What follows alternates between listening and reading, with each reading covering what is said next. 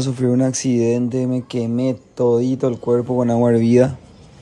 Ahora llegamos del hospital quemado, fuimos directo ahí. Y duele demasiado, hija de mil. Pero gracias a Dios eh, no pasó a mayores.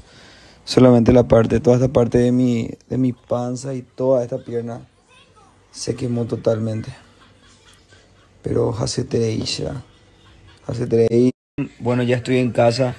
Em, tuve quemaduras probablemente de segundo grado el jueves. Me van a decir con exactitud porque es muy reciente y cubrieron todo muy rápido.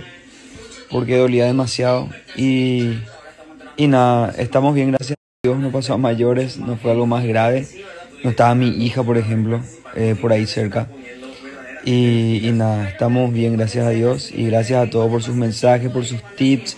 Me están diciendo que me quite toda la venda, pero no, no sé. Eh, creo que los doctores me vendaron ahí en el hospital el quemado y, y tengo miedo de quitarlo. O sea, creo que está bien así como está. Y el juez me van a revisar de vuelta. Gracias a todos. le onda esto. De todo que me preguntan en el privado, por ejemplo, me preguntan, ¿se te quemó el amigo? Literalmente se me quemó todo, así que no hace falta ni que responda a eso. Está todo quemado. Este es el verdadero. Está más Están preguntando cómo que me pasó esto. Les cuento así rápido.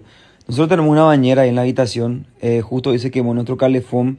Entonces yo herví agua en la pava eléctrica. Traje el agua y puse sobre la cisterna del baño que es así encima del inodoro nomás. Puse ahí, me estaba sacando la ropa. Cuando me quité toda la ropa, no sé si mi mano o qué se fue por la pava eléctrica y se tumbó por mí. Al tumbarse por mí, de tal, hacete